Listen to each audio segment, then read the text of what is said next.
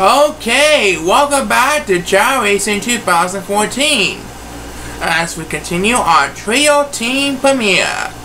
The next race will feature Nick Gimmick, Tommy Days, Kenny Dayes, and Chris Schneider. And boy, do we have an exciting one for you.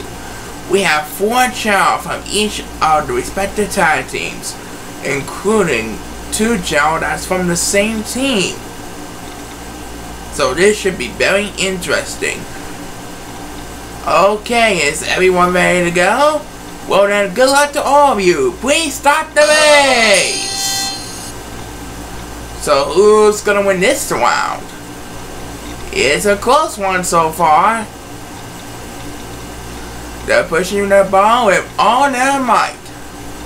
First one to get there will earn uh, one point of qualifying for the 2015 World Championship and it's gonna be Kenny Day. So wins this one. So he gets one point on the board. Another five victory for Kenny Dayes.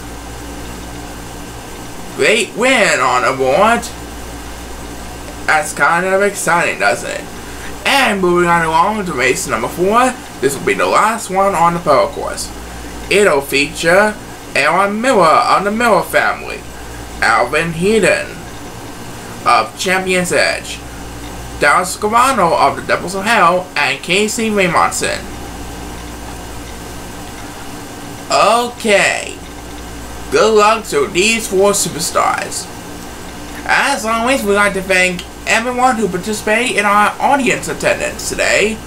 Please start the race. Okay. Who's gonna win? We'll find out soon enough. It's of course one between the Steel Curtain and Dallas the Master Cavano. It's closing in on each other.